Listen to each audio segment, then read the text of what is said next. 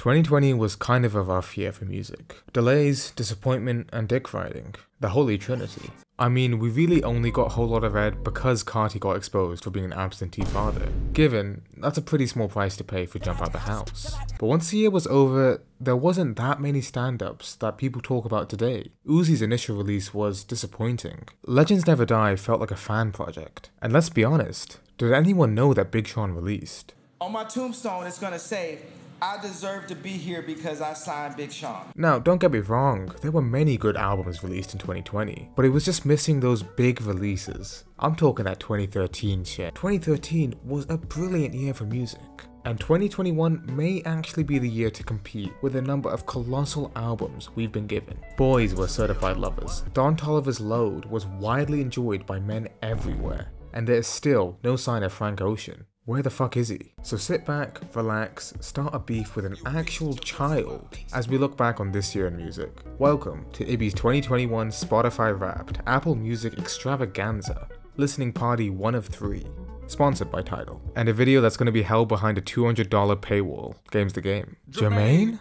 Cole? I think it was Metro Boomin who said it best when he said, If you can truly listen to J. Cole all the time, then you have yet to have the pussy that will change your life be. Real shit. Jermaine is the most humble man of all time. What other rapper will dress like he's a homeless man fiending on the streets of New York, but has the amount of money to buy a Pizza Hut franchise hanging out the back of his pocket? Let's talk about the offseason. As the first big boy release of the year, the bar was low. Now contrary to some heat that Jermaine takes, I really do think he's one of the better rappers out there. But 4 Your Eyez Only was literally 6 years ago. And that was the last time I really think Cole released anything of his talent. And when Jermaine releases an album, it can go into one or two categories. And I'm undecided on this one, because it has some absolute stone cold bangers. Pride is the Devil, Let Go of My Hand, Bas and Cole are yet to miss together in my eyes, but there's just so many forgettable tracks that they all kind of blend together. I listened to this album a week ago, and if you put a gun to my head and ask me to hum the melody of three of the songs, I'm fucking dead. I will say this though, my life had me doing some ratatouille type shit in my head. Strong, strong contender for song and feature of the year with that verse from 21. But if I'm being honest, you gave me a choice between this and one French Montana song, I'm picking this album. I don't think I've ever listened to a French Montana song. I'm like, what do you say fuck me for? Now, Best Beef, obviously, I mean, everyone knows this, it's DaBaby and JoJo Siwa. Two veterans of the rap game, both really coming to the height of their powers. And if I'm being honest with you, it seemed like it was inevitable for these two pillars of the rap game to collide at some point. And once it happened, only one of them could come out on top. DaBaby did draw First Blood, with arguably the most unnecessary bar of all time directed in a freestyle towards a child, and he can take that one to his grave. No one's taken the title from him. But in all fairness to JoJo Siwa, baby lost all credibility as soon as his height was brought into the question. Why did this happen? Honestly, 2021 was like a fever dream. Drake the kind of guy to tell you nothing suspicious or against the Geneva Convention happened on Tiananmen Square, 1989.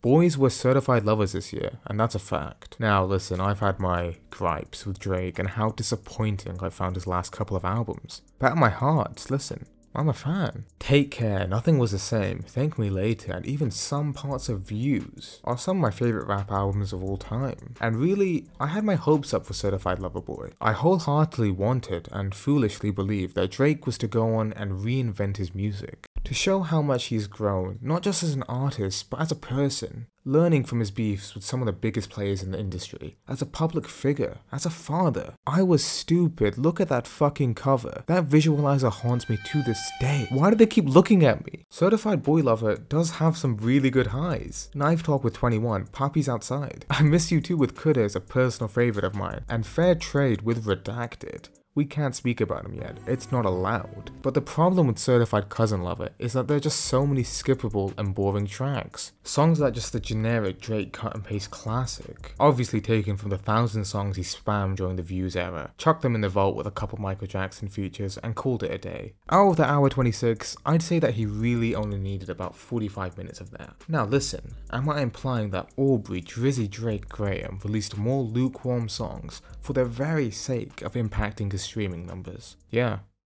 yeah, I am. Ah, ah, ah, ah, ah, ah, e, ah, e, ah, e. Are you guys stupid or are you crazy or are you dumb? Which one? You could pick one. Overall, Certified Brother Lover is safe. It'll appease the Drake fans and a lot of his mainstream followers. But is it as good as DJ Akademiks says it is? No. Akademiks, did it cure world hunger? I don't think so. And for that reason, I'm out. Call Me If You Get Lost is definitely an album that was released this year. And honestly, I kind of enjoyed it, and I'm not even that big a fan of Tyler's stuff. The vibes are immaculate, aided heavily by some of the best merch and aesthetic for an album I've ever seen. Will I elaborate further on the actual music? Of course not. We do a little trolling. It's called We Do a Little Trolling. What I will say, however, is I cannot wait till the new influx of Tyler fans discover his old music. Personally, I got no problem with it, but I can guarantee you, there's a large portion of his fans that if they listen to Tron Cat just one time, their literal head would explode. It's a weird tangent, I know, but it's crazy how long he's been in the game, and there's entire parts of his discography that sort of go missing and people forget about. Overall, decent 3 from me. Are you fucking dumb?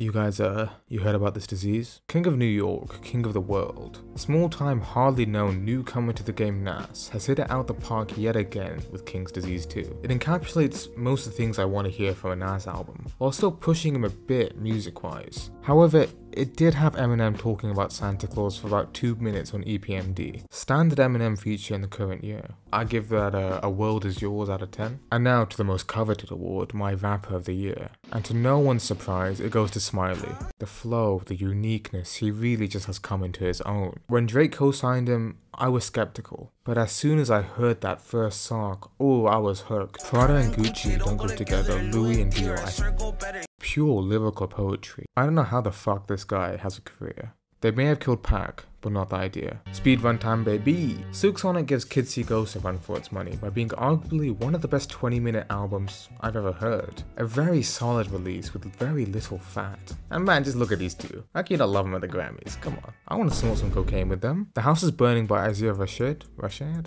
was okay. I heard a lot of hype about this album, and when I got round to it, in a word, I'll be honest, I thought it was kind of mid. Holy shit, guys. T-Lop 5 released The Life of Pablo 5. We're fucking skipping 2 to 4 and we're going straight to number 5. Pi'erre, would you like to come out here and explain as to why for one week you ruled over the world? You couldn't go on the internet without hearing something about this album, but then it vanished. I ain't heard a single word about this album after those 7 days. And that's not to say it's bad. It was good, it's fucking Pi'erre Bourne. And he made a very solid album. He still ain't got shit on Retro though. You want some more? Uh, Juice WRLD definitely released an album in 2021. I don't hate my life enough to enjoy Juice WRLD like that though. If you're bumping that from the morning, man, more power to you. I hope you get out of that dark place. Overall, I thought it was definitely a Juice WRLD album. An improvement on Legends Never Die, but CCP propaganda sounds better than that. Dr. Dre caught a lot of flack, however, over his apparent disrespect to him in the song he did for the GTA remaster. But I figured it out. He didn't mean no disrespect, he was just so thirsty, he needed like a world of juice. He wasn't even talking about the rapper, he just wanted like a Mario Galaxy 2 juiced themed world. And honestly, can you blame him? If you guys could have one whole world of juice, what flavor would it be? Don Toliver's Load was something I enjoyed so, so much. Now I heard the boldest man of all time, Anthony Fantano, did not enjoy the load. But honestly, I think you just gotta be a load aficionado. Comparisons to his breakout album, OK I Pull Up, are bound to be made, and the general consensus that I heard was disappointment, but I disagree. Whilst the writing on the album does need some serious work, the production, the hooks and the melodies have only improved in my opinion. I really enjoy this sort of Don Toliver. But what stands out on this album the most is the production. Now once you get Mike Dean in that booth, it's raps, you're gonna get something decent, but he went above and beyond on some of these songs.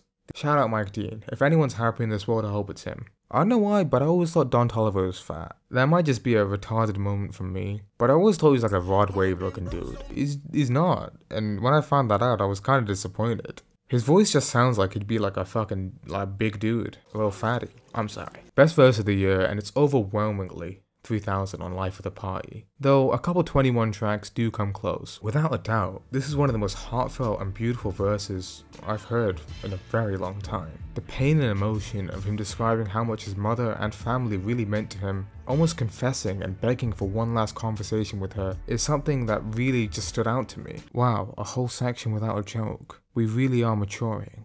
I always knew I want to be gay. Now listen!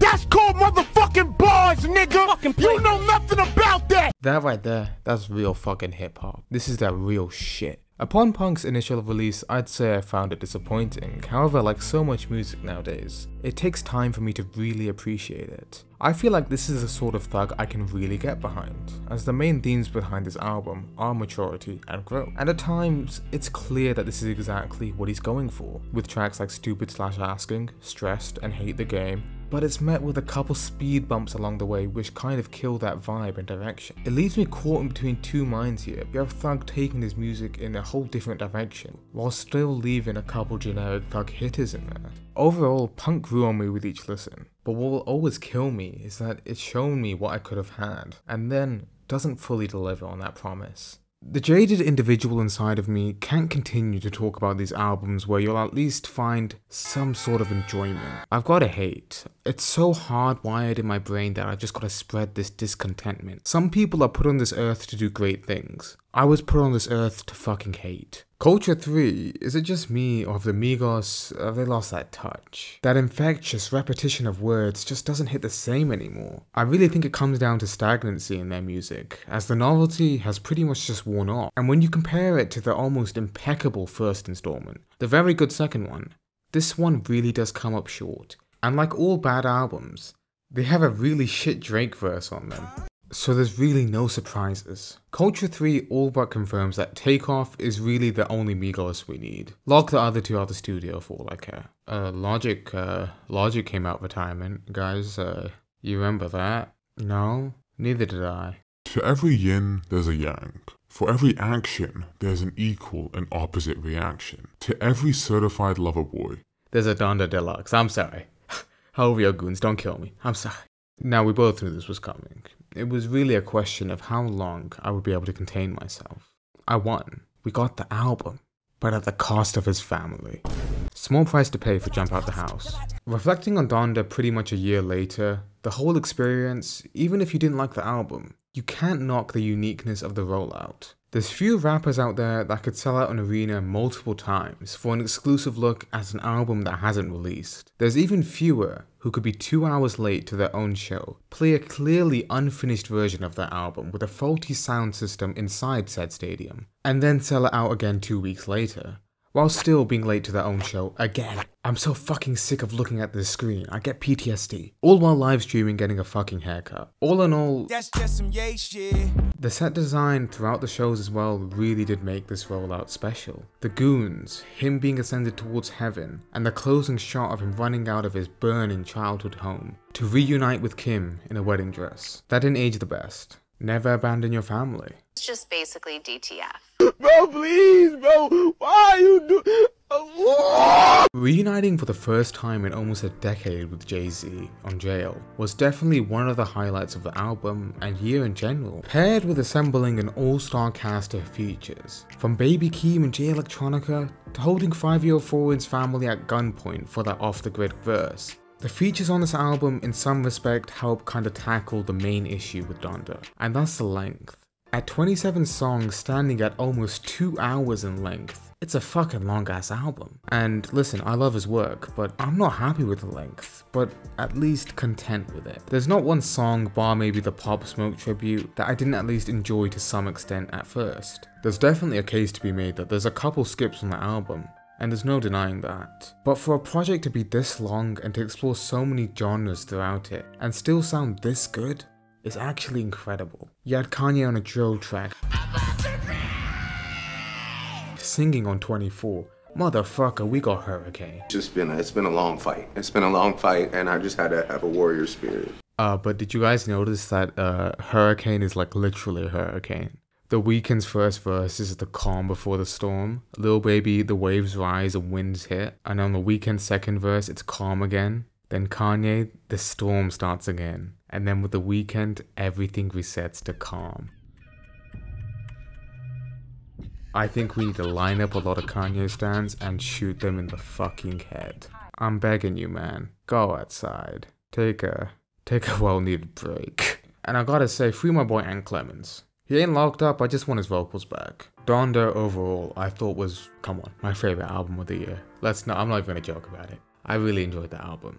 I thought it was great. Solid 8 to 9 out of 10. And although some people would say there's some very skippable tracks and that some of it is quite mid, I, I pretty much enjoyed most of it. Believe what I say, Heaven and Hell, Praise God. Those three, I gotta say, probably my top three favorite tracks. But he cut Soulja Boy off of Moon. 0 out of 10 worst album of all time. No, you can't be on my mama album. Fuck you, Kanye. I love you, Pete Davidson. Good night.